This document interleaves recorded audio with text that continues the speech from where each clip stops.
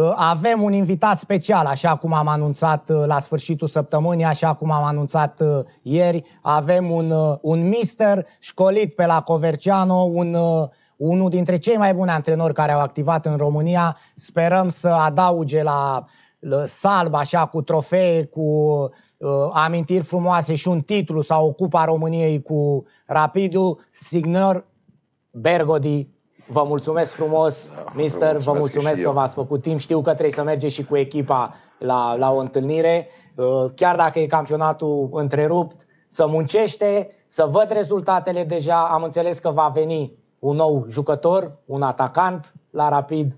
Deci sunt perspective frumoase. Da, da, da, sigur, sigur. Sunt perspective frumoase.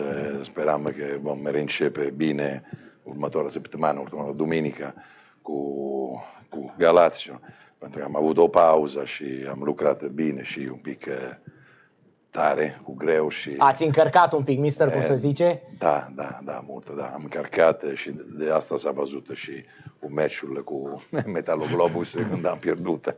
No, am încărcat, am făcut șase antrenamente în fiecare jumătate de zi și a fost e, greu pentru băieți. Dur. Dur, dur și, dur, dur, dur.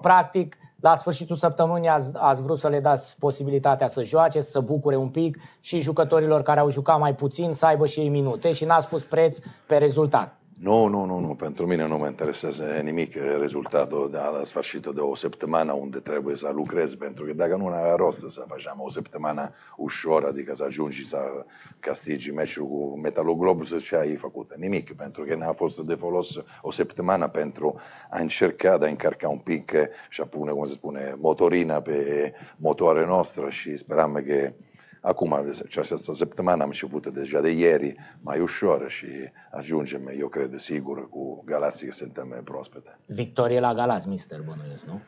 Beh, beh, noi încercăm întotdeauna să mergem la victorie, să jucăm la victorie, dar va fi un meci foarte greu. Am deja un pic văzut Galațiu cum joacă, ce face și va fi greu, un meci foarte, foarte greu cu echipele de obicei de Dorinel Munteanu, eu am fost martore la un turneu acolo în Cipru sau mi-aduc aminte în Turcia cu el când era la, la Galați și că a castigat campionatul.